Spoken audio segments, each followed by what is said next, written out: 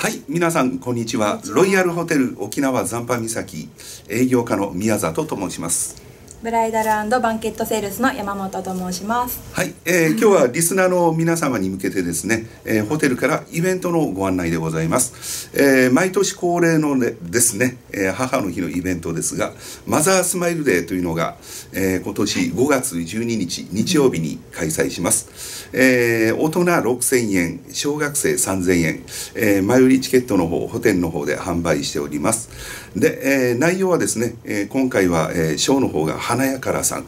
と、えー、ハンサムのお二人ですね、えー、去年からブレイクしてます、はい、五百円賞先生。と、はい、えー、中澤先輩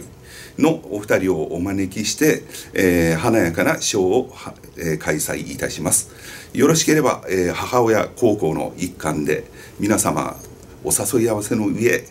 えー、お越しくださいませ。よろしくお願いいたします。お願いします